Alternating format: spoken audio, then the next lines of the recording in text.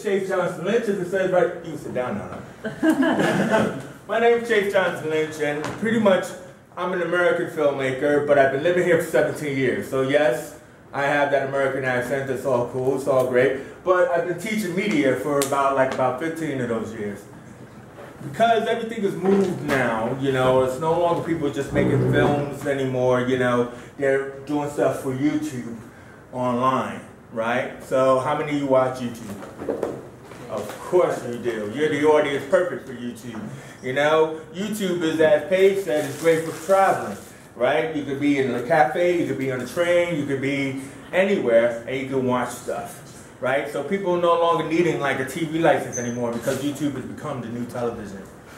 Now, what's great about it is, is that you don't have to be famous, you don't have to be some big starlet with long blonde hair or anything like that. You could be every, everyday people because what happens is, is that the audience, they're kind of like moving away from that voice. They want to hear something real, authentic. What I liked about what you guys did up there, right, is kind of like what you're going to do with this project. It's perfect for what this course offers. It's because when you're doing this community journalism project, pretty much you're asked to just be you. What do you like? What, do you, what, what is your interest in? How many times do you get to do that? Most of the times, you know, you're told what to believe in. You're told what to like. But here you could be into games, you could be into TV, you could be into film, you could be into apples. Apples. You can. and there will be a podcast on iTunes for it. I swear. You go on iTunes, you'll find a podcast for people who like apples. You know, and but we're not going to talk about apples today.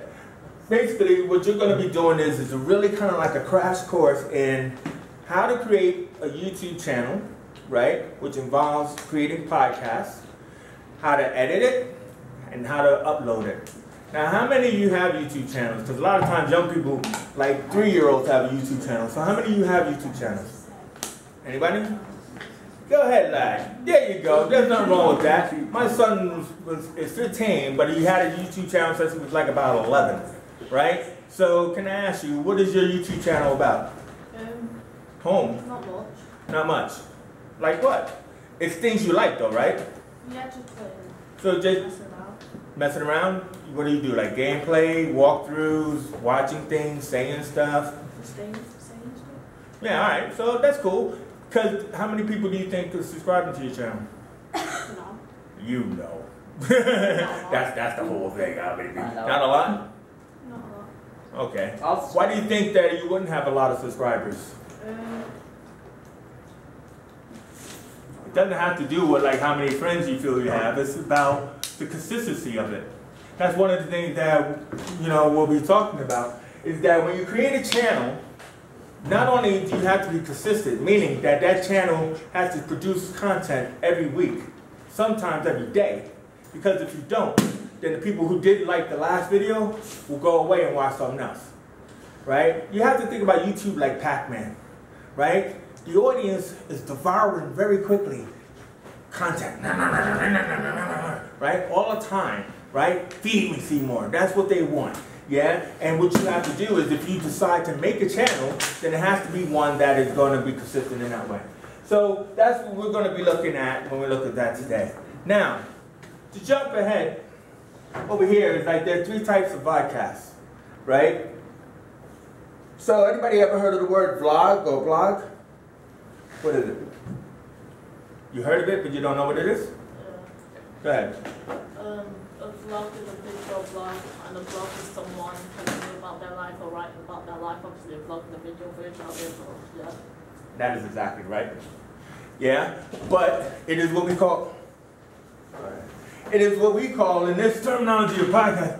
It's what we call like a single podcast, right? So a vlog that you will be doing is is that as one person, you would sit in front of the camera. That's some people used to do it on the iSight of their computer, right? Do it with their phone. You sit in front of the camera. It's a head and shoulder shot, or what's called medium shot, and you're just talking about whatever it is you're interested in. Is that what you do?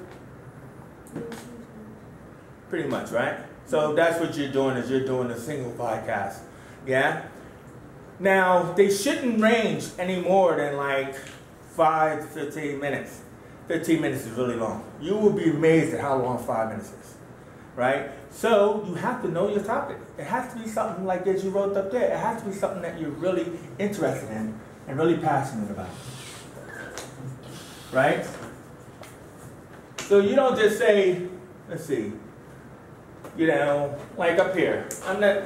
You don't just say, okay, I'm going to talk about homelessness or bullying as a single vodcast, and then what happens is two minutes in, you have nothing to say. Why do you think that would be? You said everything too much. You said everything already, and you maybe have said it too fast and didn't go.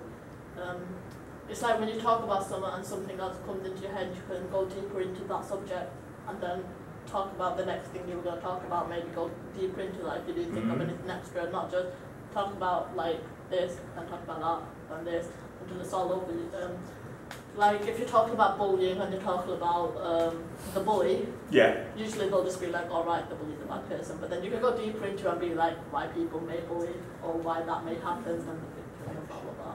Again, Dan, very, very true. So what happens is you might think you know something about a subject, but you don't know five minutes length of that subject. You can learn more as you're talking because something will pop. up Well, you can learn more before. Is what I was trying to say is you have to research, right, that topic before you do it. So if you say I'm going to do bullying, and you might say I've been bullied, or I might know somebody who's been bullied, right? Because I don't want to say I've been bullied. Oh, why would I want to do that, right? But I know somebody who's been bullied. The whole point about it is just that one situation is not enough, possibly, for a topic. So you research it instead of just trusting that you know everything about that subject. Does that make any sense? So I know that you guys are already doing that from what I heard you doing before. Is it that you're going to research your topics for this journalism project, but I'm really just trying to say what the importance of that is. Because in time, five minutes seems, sounds short, but it's very long when it's one person.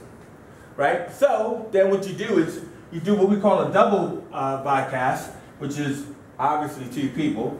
But when you look at double bi- podcast, basically, interesting thing is this couple, or we call them panels, is a panel of opposites. Right? So let's just say we were going to do sports, right? Not my favorite subject. say we're going to do sports. Would you put two reds on the table? No. Or let's see, where are we? We're not. We're, we're in Manchester, right? On the edge. So would you put two Man Man U um, people on the table? You could. No. You could do City and United. Yeah, that's what I was trying to say. Yeah. The opposites. You will put a Man U and a Man Man City on the table. Can't because- put two on the same teams. yeah, exactly. Why? Why would you put two people on the same topic? You could. They'll speak about the same thing rather than two separate things. Boring. Not interesting.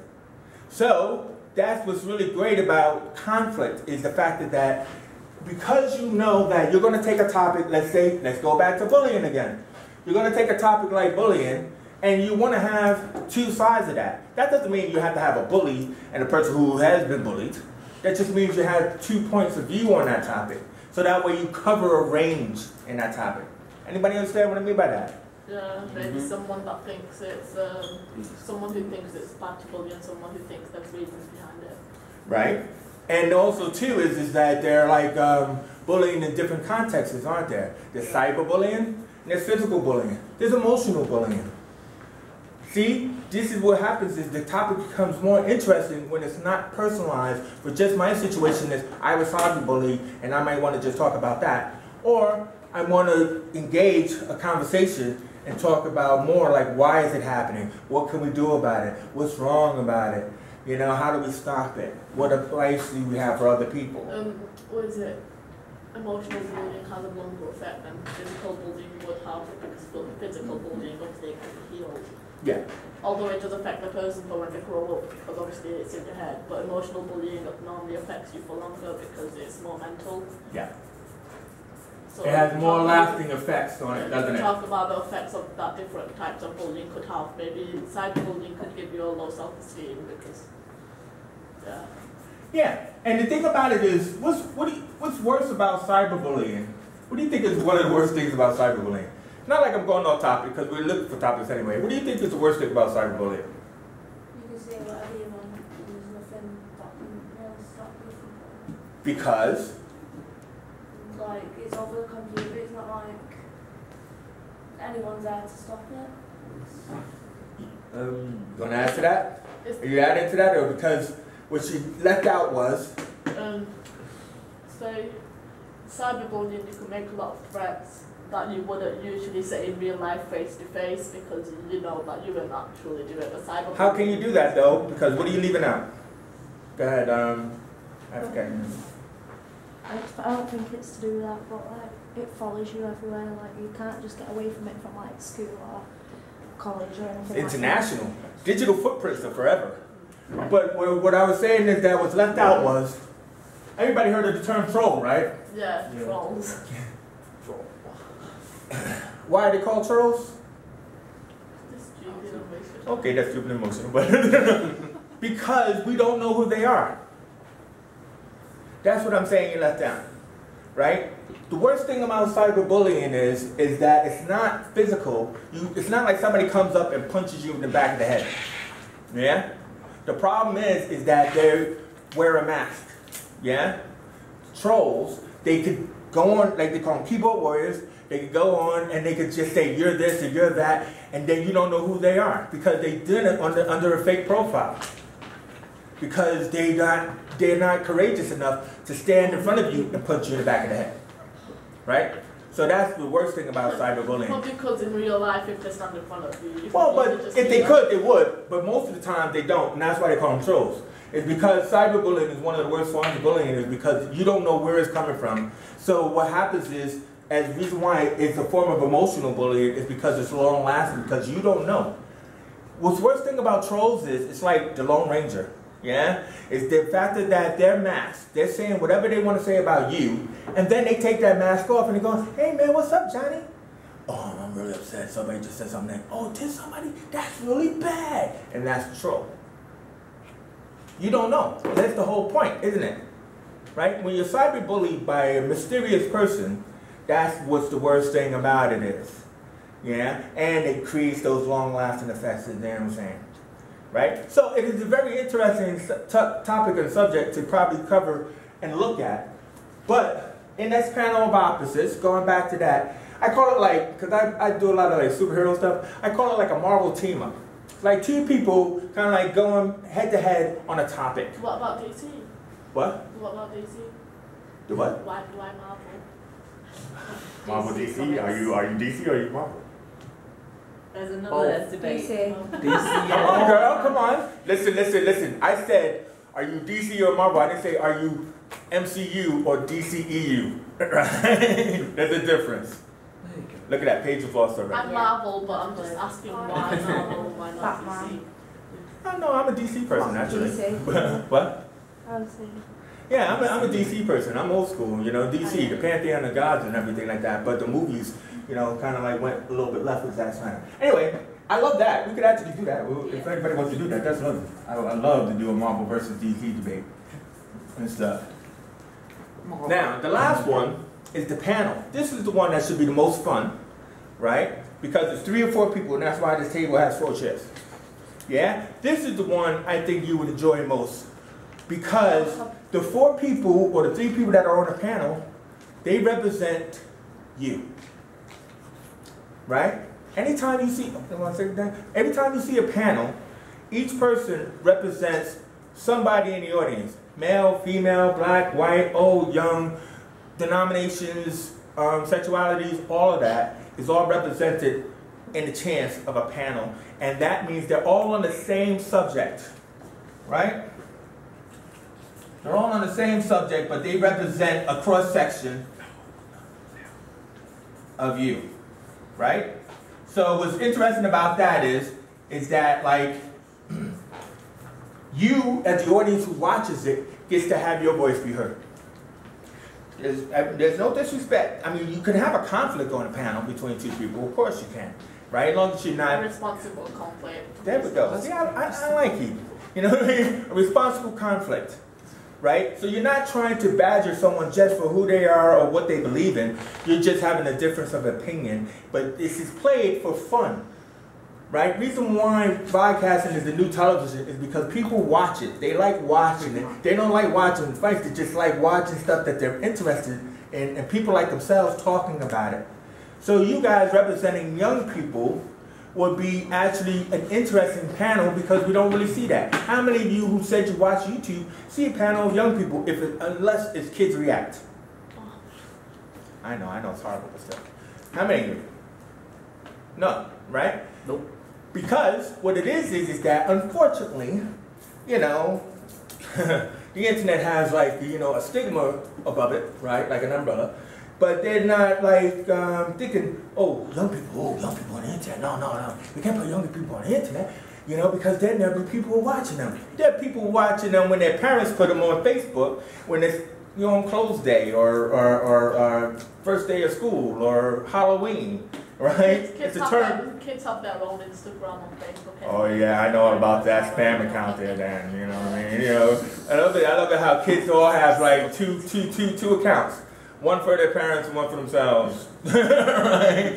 no joke, I blocked my mom.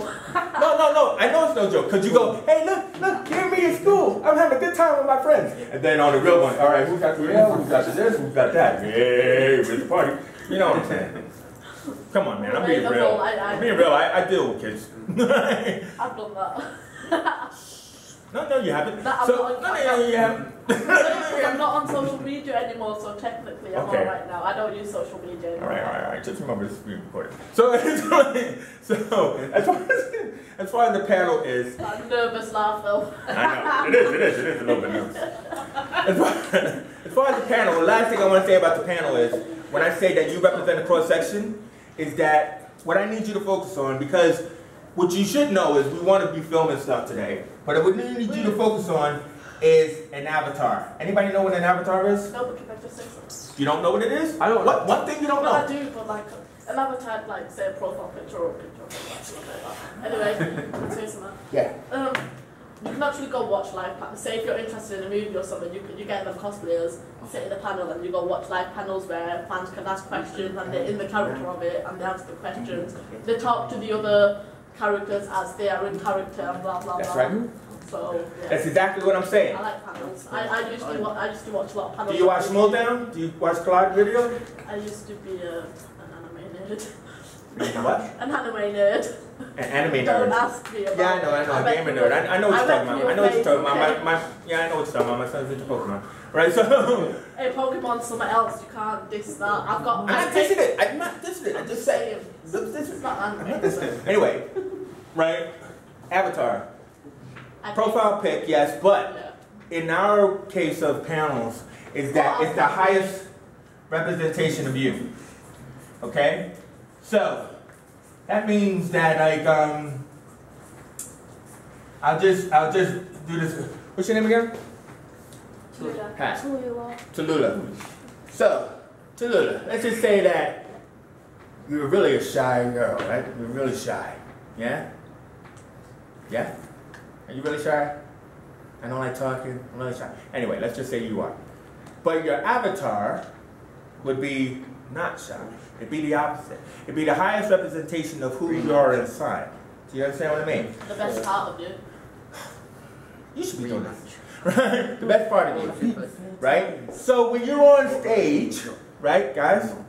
When you're on stage, the whole point is you don't want to be sitting there like this because the camera's on you, right? Waiting for my turn to speak. You don't want to do that.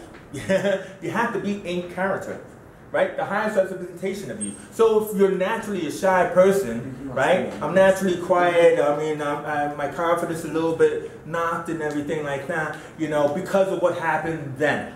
Guess what? I don't know what happened then. I and your audience do not know anything about you. Don't know where you live. Don't know your past. No, know Don't know about any- now. They only know your avatar. Do you, does that make any sense? When I shy kid myself in you know high school, when I went off to college, I figured, oh, it's time for a change. I'm tired of being shy. I'm tired of being like not having no girl. Know, not, you know, I'm tired of that. It's never- it's fine. Thanks. Anyway, so when I went to college, changed my name, right? You think change is my name? Seriously? change my name, change my attitude because I was in a whole new world. So I just stepped into a new world and I could be anybody I want. I was like boisterous, I was loud, I was like fun, I was, you know, everybody. So everybody. you didn't get a girlfriend then, I'm guessing. Yeah, I did. yeah. Oh, you know. Can't be young forever. Anyway, so you don't know that. So anyway, right. I became my avatar. Can I? And it stuck, no, they didn't. It became my avatar, and it stuck with me, right? And everything, because I wanted to be this person, and I became this person. Because I didn't want to be who I felt I was from my past. And this is what I'm just trying to say to you. It's a chance for you to change that whole paradigm for yourself. So, when you create your avatar and you sit on a panel and you talk about topics like bullying or Marvel versus DC, whatever, that person, they don't even have to be your name right? It could be, you know, a name that you made up, and that's who you are when you're on that panel. Does this all make any sense to anyone? Yes. Besides then. Does, yeah? So, that's all I wanted to do was just give you an overview about these panels because what we want to do is, is that what we want to do is we want to be able to create a panel. That means we need four volunteers. Can I be on? I Of have course ma- you can, I have a mask, by the way. I Of, brought a of- with of me. course you can because. So wait a minute, wait a minute. First of all, this I, I forgot this part. You didn't let me say something. I what? I still have so much say, but like. You will say it. I'm sorry. I, I know I will. All right, guys, guys, Here guys, young people. Can I say what I'm So on the panel, we need a moderator. Can I say what I'm All right, go ahead. What, do what, what are you gonna A moderator is the main person, so usually. I didn't even ask them the question. Go ahead. Usually, um, when the panel starts, there's one person with a microphone that explains the panels, introduces everyone, blah blah blah, and then the A panel moderator. starts. So a moderator is the person that sorts everything out and says. He's moderator. So, I'll be the moderator. Yeah, exactly. I mean, I think like I'm in yeah, it. go. A few people in the group are starting He is to good like, find their interviewing. So wait, wait, wait, wait, wait. Don't, don't get it twisted though. Just because like um, Dan said that the moderator is the person who sets things off, um, Dan is right about that. But everybody gets a How do you chance know to my talk. name? Oh, Well, how did I not know your name? Everybody gets a chance to talk, yeah. right? So the idea is the moderator is only there to keep the um, story going. So with your panel, you're gonna decide. You're gonna take like a couple of minutes to decide on what your topic is. Can I say something about avatars? Uh, yeah, go ahead. Alright. So it's like, you know, in, you know when you say you follow someone on Instagram or you watch Uh-huh. someone on YouTube, Uh-huh. that would be their avatar because that's how you, who you're watching, but you don't actually know who that person is in real life. Yeah, You just know them as the person they are being online. Yeah. So that would be, that's the difference between an avatar, avatar and who someone really is. Because an avatar is someone you would see them off as, but in real life, obviously, you don't know what they could actually be like. This is indeed true. I like to. I don't like to think I'm a popular person, but other people like to think so. So, um, Oh, you know, you're not just trying to brag no, no, no. I'm not bragging. What I'm trying to say is, I'm saying what the problem is with the avatars is, is the fact that your presence on social media, people think they know you. They think they're your best friends. So, like, I had like pictures, you know, with my, my wife in Turkey. And you know, we went to a mud bath and everything like that. Pictures were taken, ended up on Facebook. Come back home, walking down the street, someone go, you know, dude, what's up with that bath, man? What, what? I don't even know you. you know, I mean, what I'm trying to say is people think they know you. They think they know you by your representation and what you were just saying, and they don't. So, Well, like you're a mud bath every day now? shit. so, this is what we're gonna do, right? You guys gonna um, go into. All right. This is what we're doing. Movie themes. Hold on. We're gonna create. Memes. We're gonna create. Memes. Oh my Hold on, god. hold on. No. We're gonna create one panel and one double act. Yeah? Cool. And one single podcast. Yeah? Great. And everything. So that means everybody gets to plan something. Right? The panel will have to pick a topic, right? That has three points in it. Right? When I say beginning, middle, and end, that means that like so a moderator will start off the point, then somebody else will add on to the point, then somebody else will add on to the point. Somebody might go off script. Somebody goes off script that the moderator has to bring it back to that second point or third point, and then the moderator will- will get to the end with the third point, and open and close the podcast. But you're only gonna have because we're on a limited time. You're only gonna have five, five to five to seven minutes.